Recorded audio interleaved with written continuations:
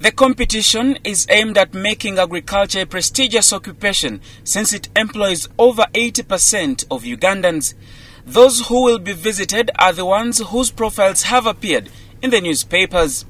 It is that time of the year once again when the judges of the Best Farmer program go to the field.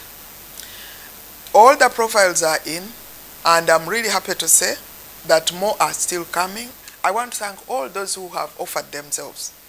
And I want to assure those who may have offered themselves but have not yet been profiled that some profiles are pending to appear in the newspapers.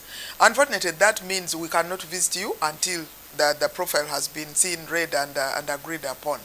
The best farmers will be chosen on the basis of their innovation, employment creation, social impact, and commercial orientation. This year, we are looking at doing agriculture as a business or doing agribusiness as a business.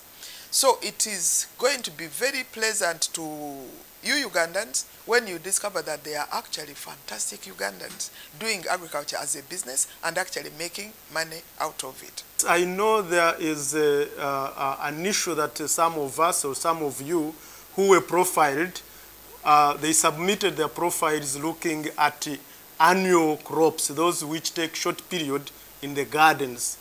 And probably you've already harvested and uh, they are not available in the gardens at this time.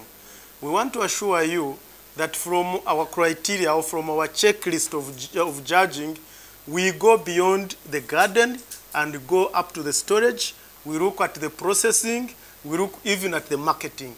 The winners of this competition, usually about 10 farmers in total, share 150 million shillings worth of farm inputs and are taken for an all expense paid tour to farming enterprises in the Netherlands. Netherlands was chosen because it is the second largest export of agricultural produce in the world, which offers the visiting farmers a chance to learn value addition processes, horticulture, dairy farming, piggery, and production of quality seeds. I'm Dennis Wanyala for Urban TV.